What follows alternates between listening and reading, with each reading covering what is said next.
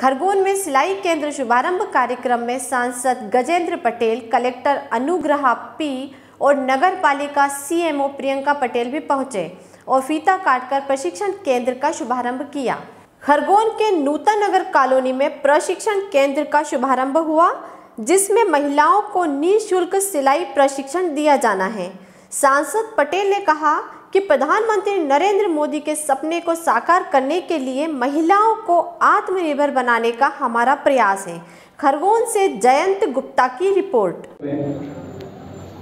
तो ज़िले का नेतृत्व तो भी एक महिला वर्ग कर रही। है यह हम सबके लिए गौरव की बात है। और इस अवसर पर यह सिलाई केंद्र का जो उद्देश्य है देश के यशस्वी प्रधानमंत्री माननीय नरेंद्र मोदी जी ने अभी निशुल्क सिलाई केंद्र का शुभारंभ किया है। 2020 में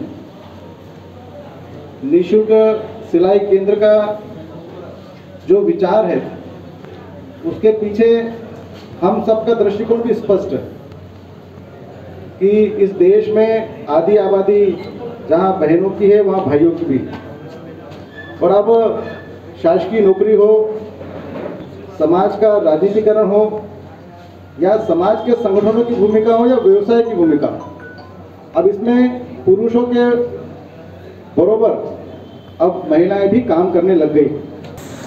स्वावलंबन केंद्र जैसे आपको नाम से इसमें समझ में आ रहा है कि हम महिलाओं को सशक्त बनाने के लिए वो अपना रोज़गार खुद शुरू कर सकें। इसके लिए यहाँ पे सिलाई का प्रशिक्षण दिया जाएगा अभी जैसे हमारे देश के प्रधानमंत्री जी भी एम्फिसाइज कर रहे हैं कि हमें स्वदेशी का उपयोग करना है। तो अगर हम अगर हमारी महिलाएँ प्रशिक्षित होंगी अपने घरों से वो बना के सामान दे पाएँगी जैसे गणवेश हो गए या बहुत सारी चीज़ें महिलाओं को आवश्यक होती हैं सिलवाई के लिए वो अगर ये कर पाएँगी तो स्वदेशी को भी हम प्रमोट करेंगे और महिलाओं को हम स्वावलंबन भी बनाएँगे।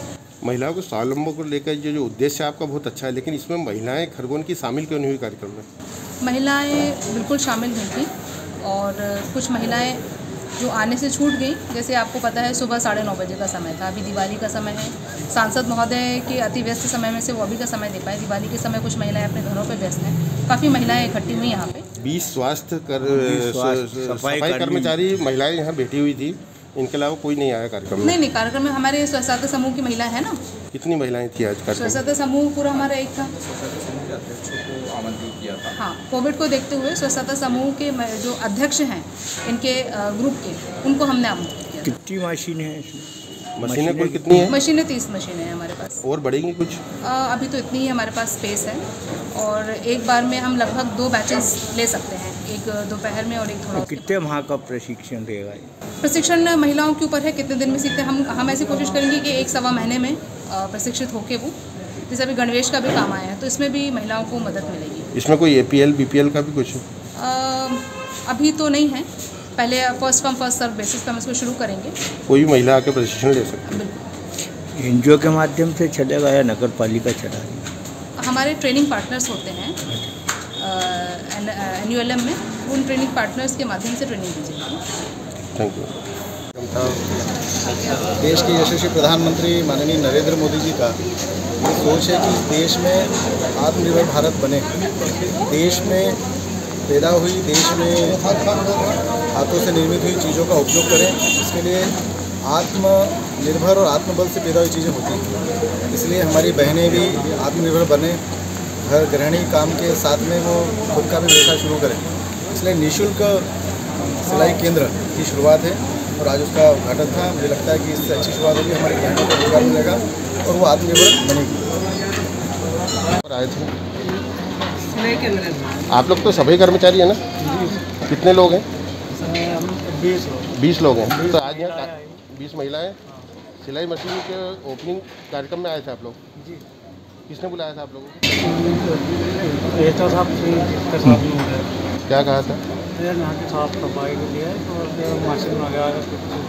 है। आप लोग तो कार्यक्रम में कुर्सी पर बैठे थे सभी लोग। क्यों? प्रशिक्षण लोगे आप क्या? प्रशिक्षण भी लोगे आप लोग? प्रशिक्षण देंगे क्या आप लोगों को? ऐसा कहा? सिलाई का बोला था आप बोला क्या बोला था? सिलाई के बारे में। कि आपको सीखना है मतलब ट्रेनिंग वगैरह। होगी आपको कि कार्यक्रम में आने का कहा था। हाँ कार्यक्रम में भी आने का बोला। क्या नाम आपका? मेरा नाम सज्जाद हेलो फ्रेंड्स आप देख रहे हैं हमारा channel S W twenty four news हमारे सारे वीडियो सबसे पहले देखने के लिए आप हमारे चैनल को सब्सक्राइब करें और पास में लगे बेल आइकन को दबाना बिल्कुल भी ना भूलें।